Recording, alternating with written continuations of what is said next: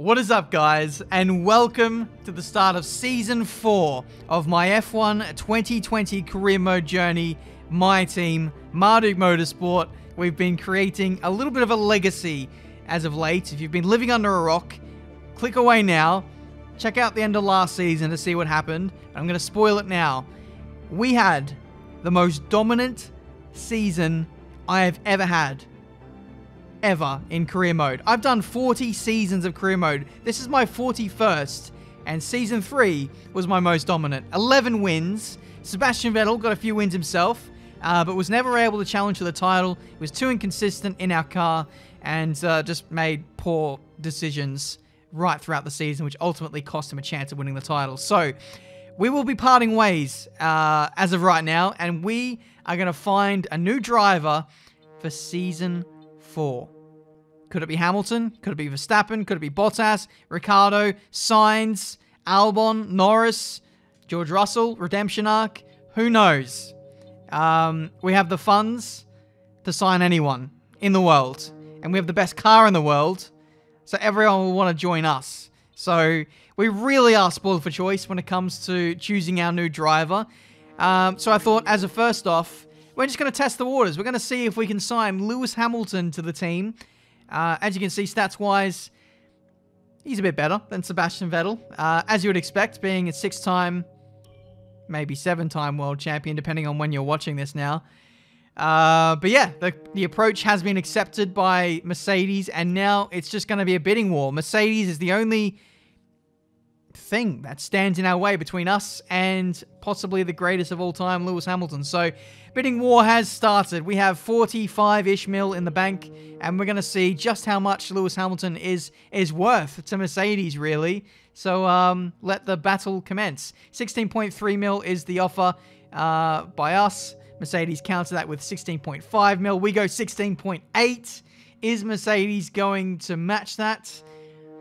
They're thinking about it and we won $16.8 million plus the $7.5 million buyout for Lewis Hamilton means we have signed him for season four of F1 2020 Career Mode My Team. That was easy. 24 mil overall. So there we go. Uh, in real life, I think he's worth about 40-ish mil. Uh, but bear in mind, this is only for half a season. So um, that may well be a 50 million-ish kind of contract and uh, it let's hope that it's money well spent. Um, for the time being, we've nearly, I say we nearly gone bankrupt trying to sign him, but that's that's definitely not the case.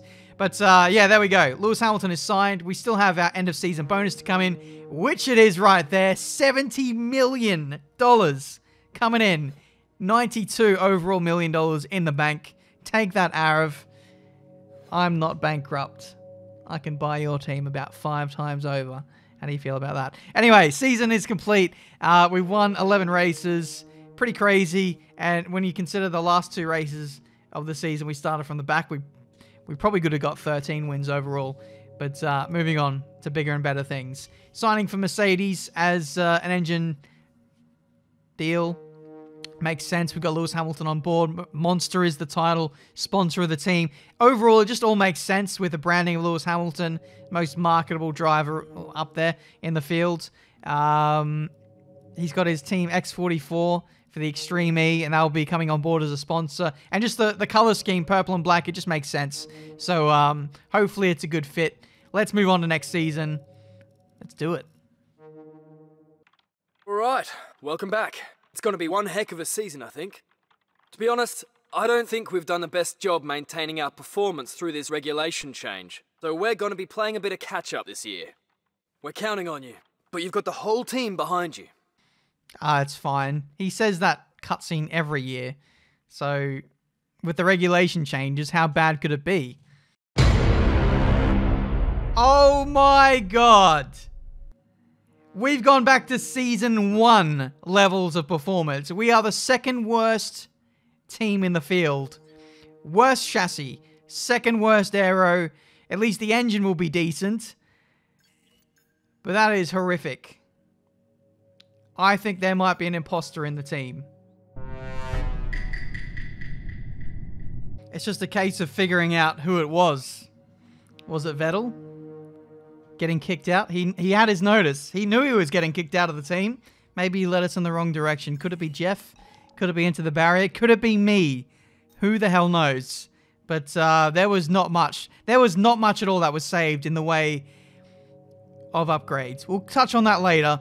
But here is the driver market. Sebastian Vettel, four-time world champion, is a free agent this season, which is crazy. Absolutely crazy to me. Um, not much change up and down the field, to be honest.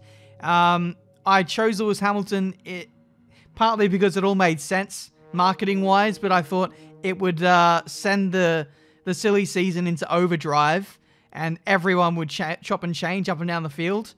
Um, doesn't look like that's happened as of yet. Uh, new signings of, uh, let's see, no one coming in yet. Antoine Hubert and Jack Aitken. Jack Aitken is now in the best seat in Formula One.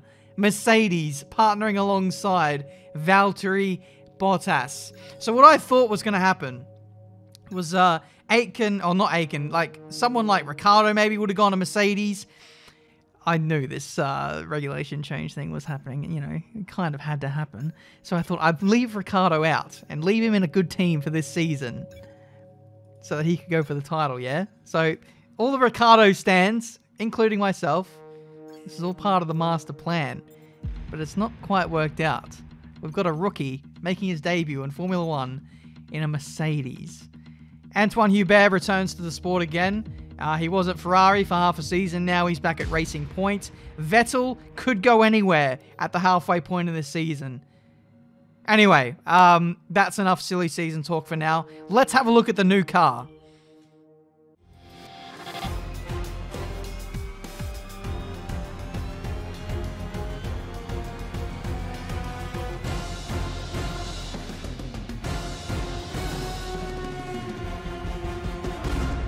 So there she is, the MM04, the piece of crap that is going to be running at the back this season.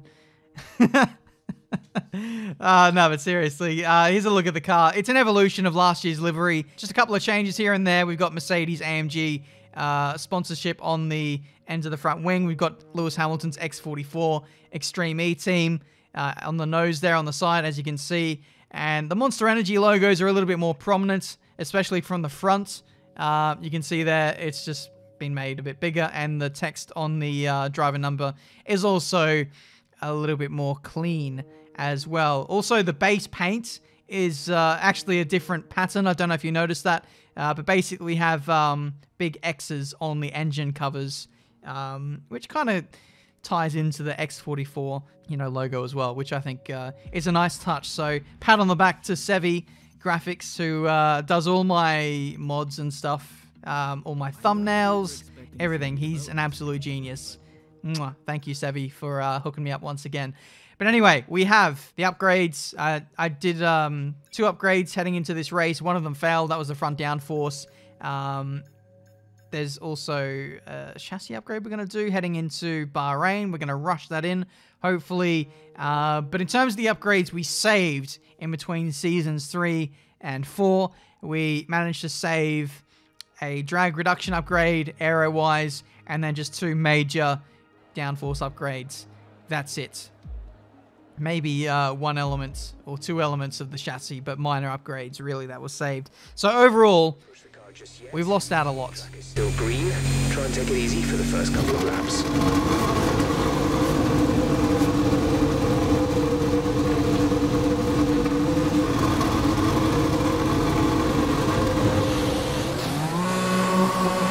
How good does that sound? This car is literally a frame uh, strapped to a rocket. That's probably the best analogy I can give. The chassis and the aero is crap, but we've got an amazing engine. We've got an even better engine than what we had last season, and it was already like one of the best, I think the best in the field, which is uh, ridiculous. Shout out to Mercedes for uh, jumping on board and recognizing greatness. We will hopefully deliver greatness ourselves at a later date, but for the time being, it's going to be a long old slog. This car is uh, It's actually, it doesn't feel horrible. You know what? I thought this car was going to feel disgusting to drive. I've driven some absolute stinkers over the years. HRT, Manor, Virgin, Caterham, Force India at times. It, you, this car feels decent. It feels kind of like an online car, which for basis is like the normal Mercedes in Season 1.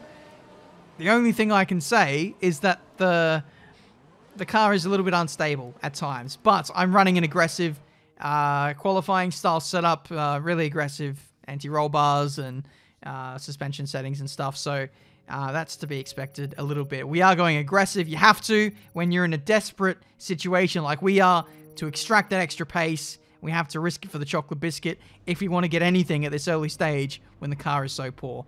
But it's time for qualifying for the Australian Grand Prix. Let's just see how bad this car is.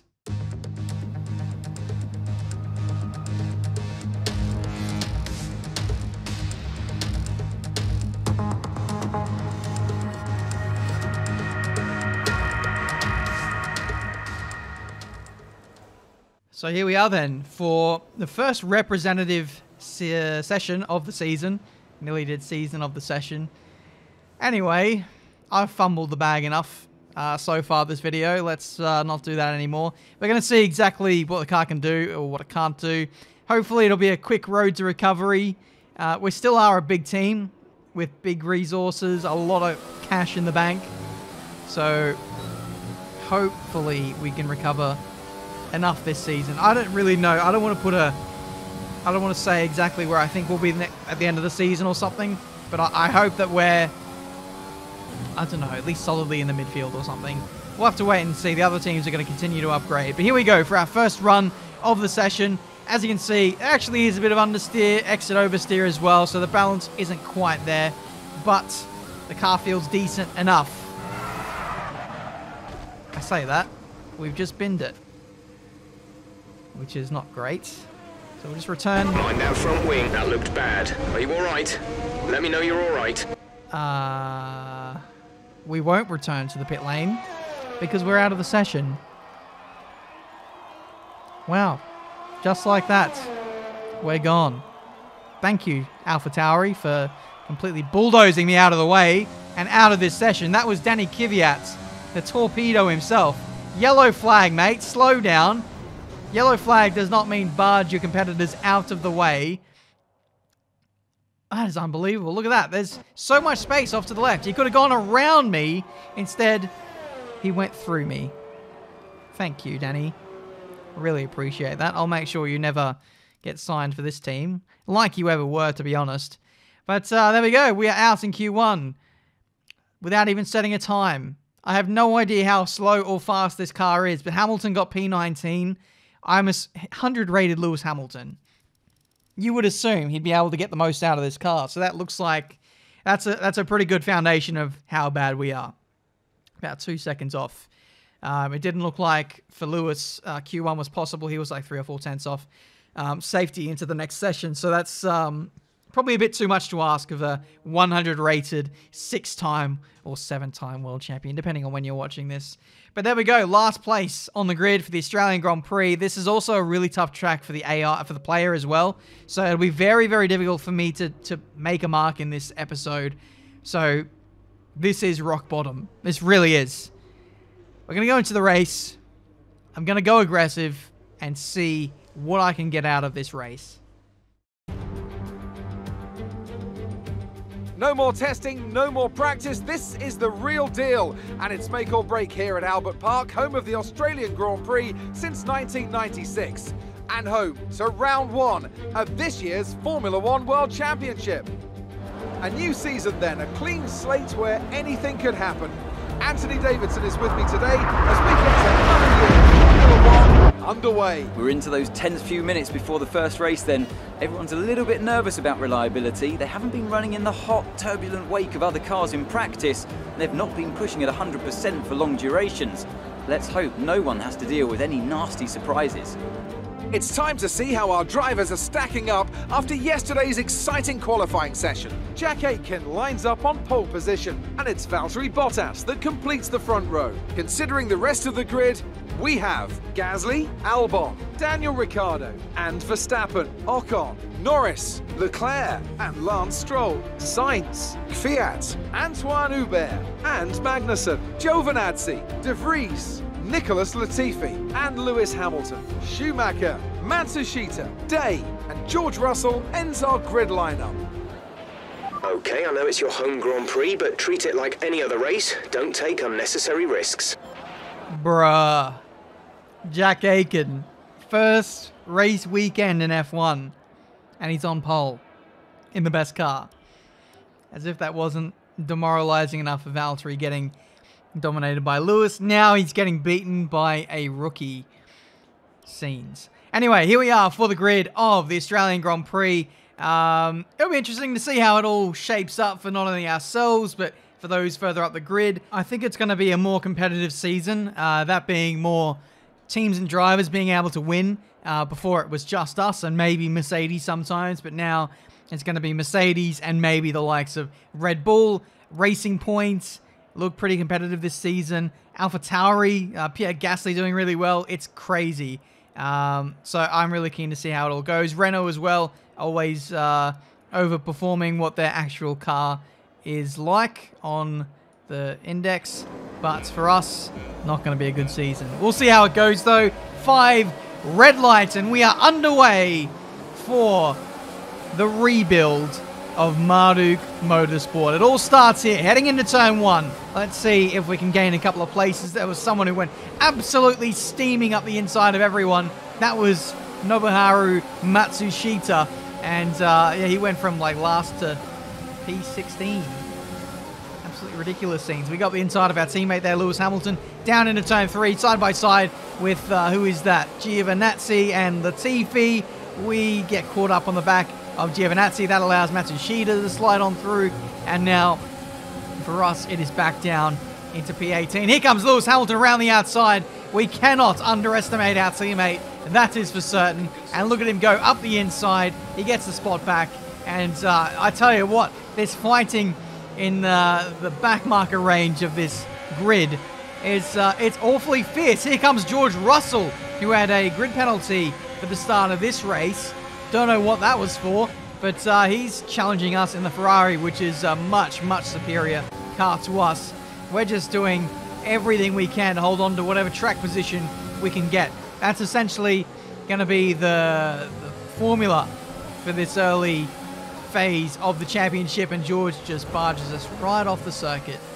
Marduk Motorsport kicked me out in uh, season two. Have a bit of that now that you're back, Marcus. He's uh, getting his revenge, it seems. So uh, here we go. We're slowing it down for this uh, third to last corner. And uh, upon reviewing this, I actually think there wasn't much that George Russell could do there. I think I just turned in too much. Uh, kind of had to turn in quite sharply, quite aggressively, because I don't have much downforce. It's a bit hard for me to run side by side with cars now. But um, yeah, I guess I reap what I sow there. And we're down into second last in this race once again. So, uh, on the medium compounded tyre. I don't know if I mentioned that, but we're going for a long strategy. We're going to go onto the hards. We don't have our tyre wear upgrades. Oh, those tyre wear upgrades that we had last season, which were really the, the secret weapon to Marduk Motorsport. We're able to win so many races because we're able to have flexibility with strategy. We were so consistent in the race, so fast in the race. Here's George Russell flying through the field. He's now up in a P18. He's got past not only Nick De Vries, but Lewis Hamilton as well. So, and now Matsushita. Bloody hell. George Russell is on a charge in this Australian Grand Prix. Not easy to overtake around here. And uh, he is proving me wrong, it seems. Still, we run in last place. This is going to be a slow burner, this one, as we're looking to, well, play the long game and hope that tyre wear can play into our favour. But that's only going to work up against the top 10 runners, and we don't have the pace of the top 10 runners. Lance Stroll is out of the session, and that is a big scalp for Racing Point because they're the third best car in the field now. They actually did the best over the winter. Um, they lost not much ground. A lot of people lost ground over the winter because of the regulation changes. The Racing Point lost not much which may, meant in the overall scheme of things, they gained in the winter. But anyway, uh, in goes pretty much everyone for maybe their one and only stop in this race. Hamilton um, had first dibs. I'm following him in as well, going on to the hard compound tyre to go to the end of the Grand Prix, maybe. But given how many people made a stop, I think I might actually do something different. I might come in again and go on to medium compound tyres. We don't exactly have the pace to uh, climb ourselves into the points, do we? So what I'm thinking is I'm going to do something different to everyone else. I'm going to go onto the medium compound tyre and either A, see if I can go to the end from there, or B, uh, come in again late game and see if I can overtake a whole bunch of cars, maybe, who are on old hard compound tyres. Either way, I, I see this as uh, a way to distinguish ourselves from the rest of the field. We don't we don't have the pace. That's the thing. We don't have the pace to overtake 10 cars to get in the points on pace. So we have to do things a bit different. And uh, I hope you guys will understand my uh, you know strategy towards this.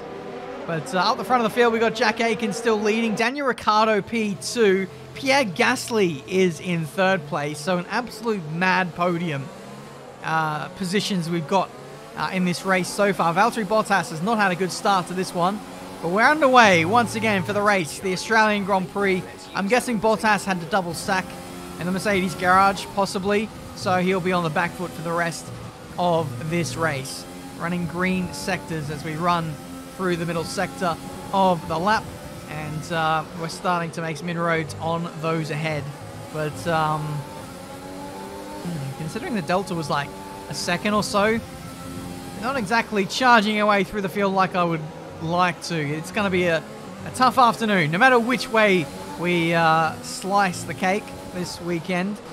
Um, it's just not a, a, track that lends itself well to overtaking. And could you imagine how difficult it would have been if we stayed on the hard compound tyres for the rest of this race? We might have just been stuck in a train for the rest of the Grand Prix. But uh, meanwhile, we got Mick Schumacher making a pit stop on the last lap.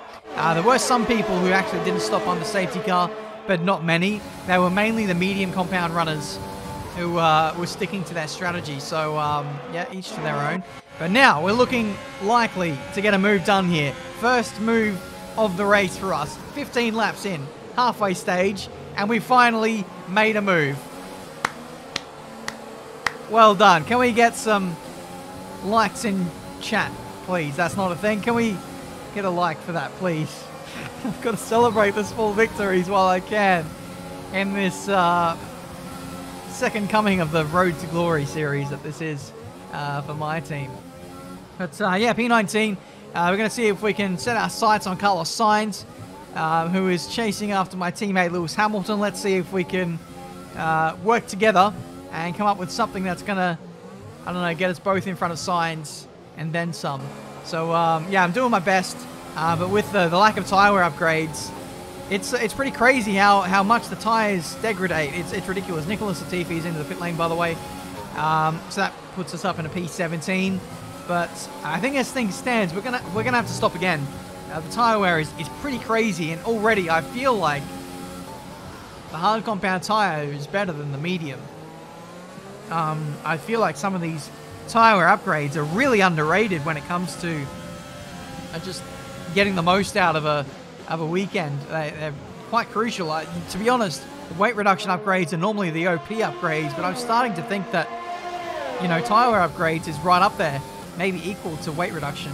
But uh, you can see Carlos Sainz having a go at Lewis Hamilton, makes him go slightly compromised into the fast turns 10 and 11 complex. And now he's got the DRS barging his way through on my teammate. Someone has lost a bit of front wing. I think it might be Hamilton.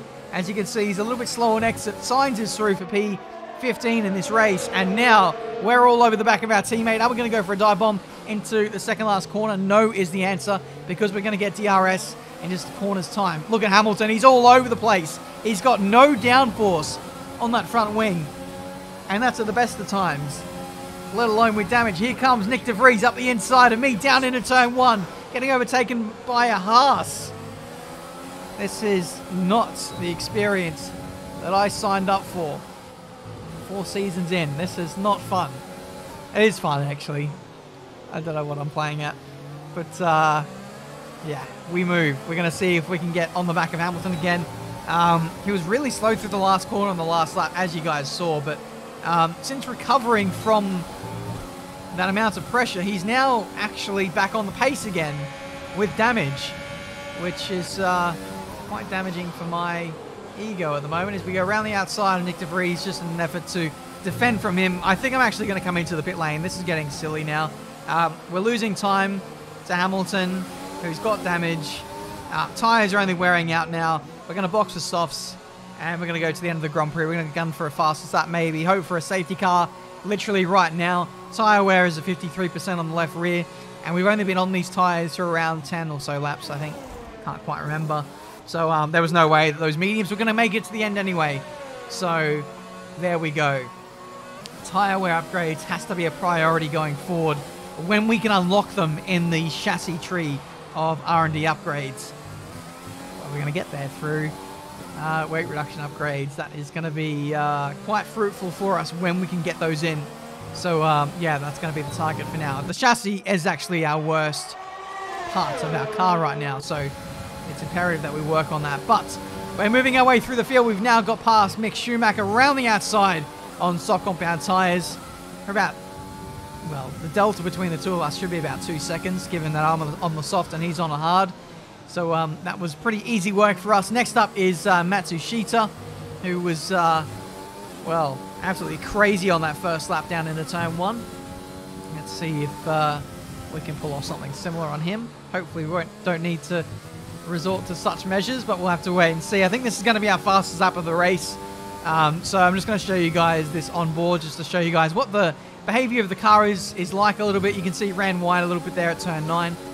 Um, but otherwise, the car feels pretty good, like I said at the start of the weekend. Um, just lacking a bit of downforce. Um, it is slightly unstable at times. But again, that's down to the setup. Um, the car is, I guess, heavy and it's not quite nimble enough but it doesn't feel horrible. The characteristics of this car are pretty good. Otherwise, nice rocket ship that we've got strapped to the back of this thing. Thank you, Mercedes, for that. But anyway, through the third sector now, uh, we're going to see if we can set a purple lap and take away a singular point from one of the top teams in Formula One. We've run out of ERS, and unfortunately, even with the best tyres, the youngest tyres out of anyone in the field, we're still not good enough to get a fastest lap. Uh, apparently the fastest lap was uh, at 1 minute 20.5 as we slide up the inside of Matsushita, who made a massive mistake heading into that right-hander. I just took my normal line. He ran wide, completely left the door open, and then there was a bit of contact on exit. Uh, but thankfully no damage for either of us, I think. We're just going to check the front wing, and it's absolutely fine. So um, that was a lucky escape for both of us. But here's an update on things up the front. Jack Aitken still leads this race, and it looks like he's going to win. Uh, Daniel Ricciardo P2. Here's Pierre Gasly in third, who is looking likely to get a podium for the Alpha Tauri. So real life uh, imitating the game, or the game imitating real life, whichever way you want to look at it. That is uh, amazing to see. To see that Pierre Gasly is on form in this season. But uh, yeah, for us, it's going to be no points. Uh, no points for one of the Mercedes. Who is that? That is Valtteri Bottas, who comes to a stop at the end of this Australian Grand Prix. He was running in about P5 or something, and now he's going to get a big fat zero. Massive free kick in the championship to Jack Aitken, who just goes and sets the fastest lap of the Grand Prix as well to rub it in to Valtteri Bottas. And now he's only gone and won. And Jack Aitken wins. Nice one, boy. I told you it would come. Bloody hell, that is confidence. I told you it would come. Well, yeah, there is an, a level of expectation to win in a Mercedes, but not in your very first race in the sport. Take a bow, Jack Aitken. That is incredible. For us, not so incredible. It's, uh, I don't even see, 18th place in the end. Points, I think, were impossible today. Probably made the wrong strategy call, uh, but in the end, it was uh, a race that was doomed to fail. Another superb Australian Grand Prix comes to an end, and it's a thoroughly deserved victory. Tell me, Ant, how do you think they were able to deliver such an incredible result today? Without a doubt, the safety car changed everything today. The key to their success was keeping calm and reacting to the situation quickly. We've seen teams in the past throw away wins because they were too hesitant, but here they were decisive and that's allowed them to take the advantage. So after a magnificent race, we can now see the drivers making their way to the podium. Once again, it's the Silver Arrows who take top spot a well-earned victory for Mercedes. This is crazy. Only a matter of, I don't know, weeks. Jack Aitken in game didn't have a seat in Formula One. Now he's got the best seat and he's leading the championship with his teammate sitting on zero points. Pierre Gasly gets a podium for AlphaTauri and Alexander Albon uh, gets on the podium too for Red Bull. So Daniel Ricciardo felt like a stone towards the end, which is a shame for him. But um, for AlphaTauri, that is amazing. Danny Kvyat gets P7 as well. That'll do them pretty well on the constructors, but Jack Aitken, he's only rated like 70 something, mid mid 70s, I would say, and he's beaten a 80 high 80s Valtteri Bottas. That is incredible. Bottas DNF, yes, but Jack Aitken had this whole field on strings. Wow. Wow, wow, wow. So um, that's the state of play for the championship. Um, it's kind of weird as well to see Lewis Hamilton in a in a slow car. Um, it'll be interesting to see how he gets on. Obviously, wasn't able to make much of an impact today. Um, looking forward though to Bahrain. Bit of a power track. Um, not so much of a, a reliance on downforce there. So I think as a package, as a team, I think we might be competitive. We may have an outside chance of getting points. We'll have to wait and see. But uh, yeah, that's a, a, tasty little championship we've got going at the moment. And now here, I'm getting thumbnails, and um, I'm showing you this because I make a massive boo-boo. Yep, that just happened. Okay, I know it's your home Grand Prix, but treat it like any other race. Don't take unnecessary risks. Kids, won't you step outside for a second?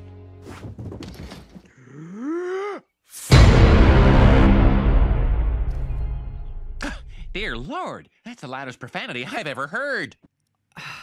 I'm so, I'm so angry. I'm honestly raging because I I pressed restart session after the whole race had been completed, and um, I tried to uh, replicate. I, I tried to retire to see if the same thing would happen, but Valtteri Bottas ends up finishing the race in the end. His car didn't DNF, which is against the script. Normally, when an AI retires, it has to it retires at the same point every time. Um, so um, that's that's a bit odd. So I had to take measures into my own hands and uh, uh, take Valtteri Bottas out of this race the fun way. And uh, there we go. In the end, I think it, it doesn't matter because I wasn't going to score points in the race anyway. But um, we have absolutely sent Valtteri Bottas into the Shadow Realm. I was only meant to take him out for this race, but I, I feel like I may well have just taken him out for the rest of the season. That is um, that's a nasty shunt. That's what we have given him. But in the end, result is somewhat the same. Jack Aitken wins. Um, Albon is on the podium. No sign of Pierre Gasly. Um, we'll have to get an update on that in a second. But here's the replay of the uh, the big Shuntaruski. There's no. I'm not gonna do the whole race again. That's just that's just not gonna happen. So um, there we go. Bottas instead ends with uh, a massive shunt instead of a. Oh, I don't think those spikes in the uh, in the tire bundles are overly safe. I don't know what kind of organization FIA are running here, but that is um, slightly dangerous to have uh, sharp objects in a what's meant to be a, this is death race kind of thing. Anyway, um, Bottas got beached in the bundles, and um, word has it that he's still stuck in there, so he'll be I'm just chilling in there for a few weeks while we're off to the next race of the season. But uh, yeah, I, I, don't know what to say. That was um, really silly of me. I tried to go back into um, replays to get more thumbnails, uh, but I ended up screwing the whole session. So that's that. Uh, in the end, I think Pierre Gasly ended up in P4. Max Verstappen, who was in 11th place, um, got on the podium, and Danny Kvyat didn't get points either. So it's just Kvyat and Verstappen, the two major outliers there. Pretty much everyone inside the top 10 uh, was relatively the same. Um, it's it's near on impossible to recreate the exact same finishing order. Um, it's a bit, yeah, it's a shame, but um, I did my best. So hopefully you guys can accept that apology on that front. Um, but going forward, that is very encouraging to see um, Alpha Tauri, Pierre Gasly, whether it be in a fully race run event or a simulated race, they still end up at the front. Same too with Jack Aitken as well. You know, sometimes the game can be a bit silly when you simulate things and can send you down to last when you're in the best car and stuff like that. Thankfully for those guys, that didn't work out. And impressive, so impressive for Jack Aitken to be winning, to be dominating, well, not in a way dominating, but um, being in control of the whole weekend in his first race of his overall career um, with uh, lowered stats. Um, that's that's quite ominous for Valtteri Bottas. Um, I feel like, and I think Harris talked about this too. Um, momentum is a big thing for a lot of the uh, the AI, and uh, to see all the momentum go Jack Aitken's way at the start, look out.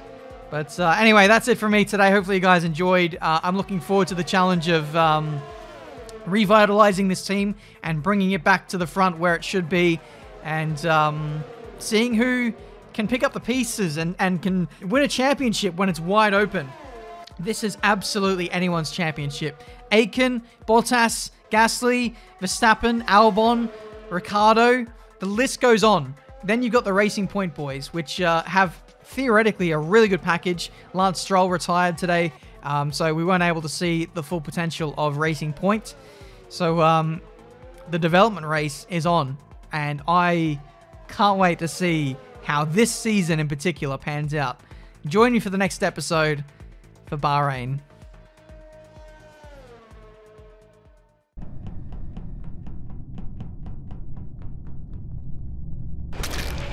What happened? Let me know you're okay.